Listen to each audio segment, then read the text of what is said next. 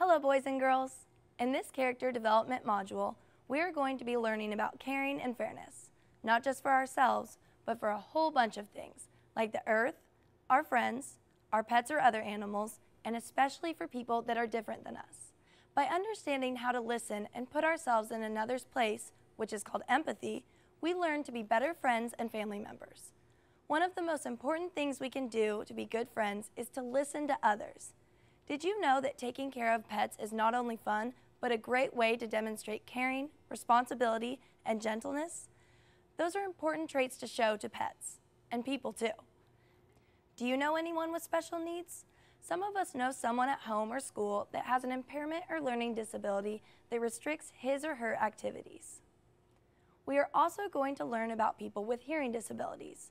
We will learn all the ways they get information, like sign language, speech reading, and finger spelling. Sometimes, though, no matter how hard we try to be fair and caring, conflicts arise. So we'll talk about how to build relationships and work through differences with cooperation and respect. By the end of this module, you will better understand empathy, improve your listening and responding techniques, and have skills focused on being understanding of people with special needs and others around you, like classmates or teammates.